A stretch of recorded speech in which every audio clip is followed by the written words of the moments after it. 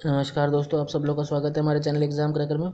आज जो हम लोग इनपुट आउटपुट की बात कर रहे हैं, हम लोग लेवल वन हो गया लेवल टू हो गया। अब जो आप लोग का लेवल थ्री आ गया है भाई, अब इसको आप लोग को सॉल्व करना है। और इसको जल्दी जल्दी सॉल्व करने आपको सॉल्व कुछ नहीं करना है। आप लोग को लॉजिक ढूंढना है और आपको वो लॉजिक अपने दिमाग में बैठा के आप लोग को फिर जो टास्क दूँगा, उस टास्क को आप लोग को कंप्लीट करना है। उससे आप लोग को पता चल जाएगा कि आपको टाइम कितना लग रहा है। हाँ ज़रूरी नहीं है कि आप लोग सॉल्व कर रहे हैं सॉल्व तो कोई भी कर लेगा यार। आप लोग को पैंतालीस मिनट में अस्सी क्वेश्चन है, पैंतालीस मिनट में अस्सी क्वेश्चन है R R B P O pre R R B clerk P में उसके बाद आप लोग अगर टाइम लगाएँगे तो कहाँ से हो पाएगा अच्छे स्कोर? हटाओ बहुत होने वाला है। तो चलिए हम लोग लेवल थ्री में आते हैं। ये आप लोग के मीन्स लेवल का इनपुट आउटपुट है।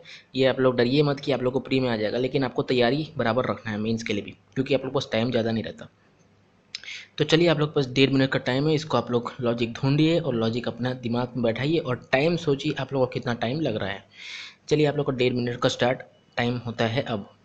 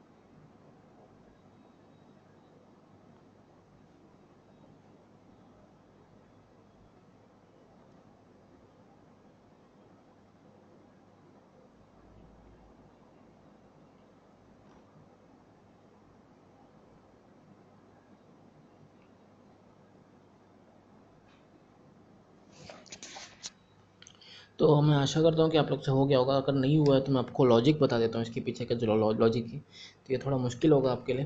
तो तो आप, मैं बता देता हूँ आप लोग को लॉजिक सबसे पहले आप लोग को क्या होना है? क्वेश्चन देखना है आपको। क्वेश्चन में आपको नंबर्स चार दिख रहे हैं और आपको लेटर ये जो वर्ड्स हैं वो चार दिख रहे हैं।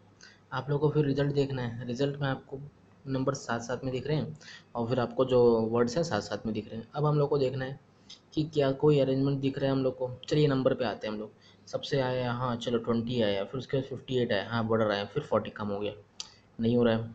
और फिर उसके बाद इवन ऑड वाला देखते हैं हम लोग। इवन में आप लोग का कम ज़्यादा, फिर इवन हो गया। मतलब ये वाला भी काम नहीं कर रहा। अब क्या हो सकता है, अब क्या हो सकता है, आप लोग सोचेंगे, बहुत सोचेंगे। सोचना तो पड़ेगा भाई। सोचेंगे नहीं तो फिर नहीं हो पाएगा। सोचना तो बहुत पड़ेगा। अगर सोचेंगे नहीं तो सोचिए, थोड़ा सोचिए और सोचिए क्या हो सकता है। अगर बहुत सोचेंगे आप, तब आप लोग को कोई लॉजिक ज़रूर मिल जाएगा।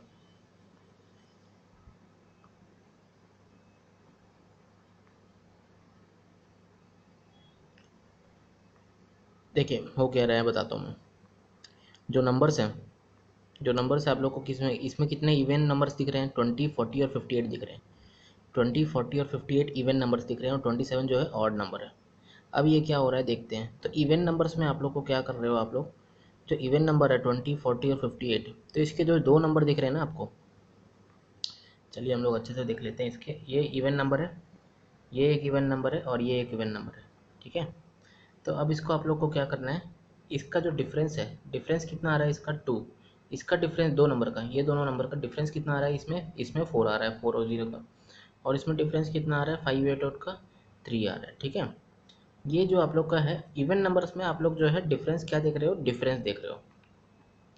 टू फोर थ्री आ रहा है, ठीक है?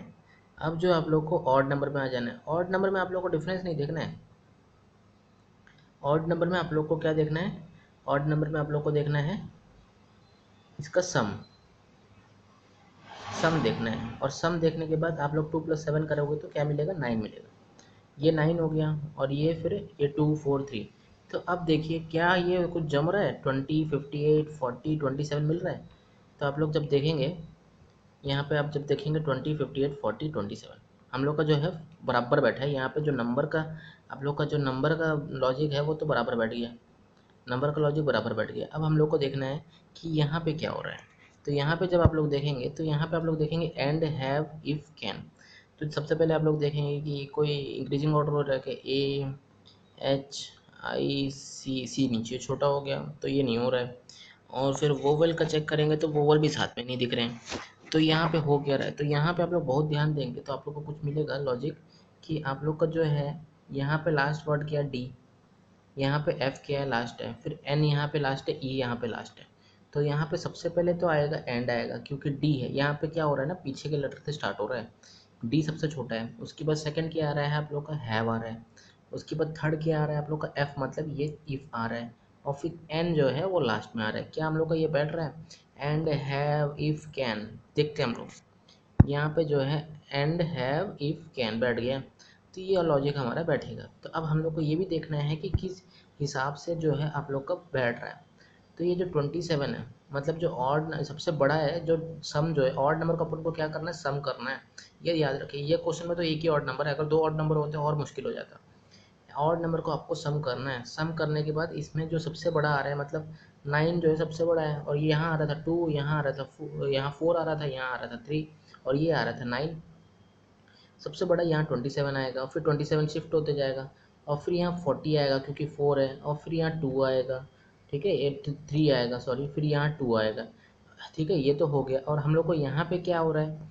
यहाँ पे जो डी वाला है, ये एंड वाला, यहाँ पे जो डी वाला है वर्ड्स में आ जाते हैं हम लोग। यहाँ पे जो डी वाला है, ये डी वाला जो है, यहाँ पे आया। उसके बाद ई e वाला जो है हैव वो आएगा आप लोग का यहाँ पे। और एंड यहाँ शिफ्ट होते जाएगा। और फिर ये एंड और हैव इधर शिफ्ट हो गए। और फिर जो आप लोग का थर्ड वाला एफ़ वो यहाँ पे आ जाएगा। और फिर आपका बच्चा जो कैन है, वो लास्ट में आ जाएगा। तो ऐसे आप लोग को state, step one two step two, step four तक आप लोग पहुँच रहे हैं।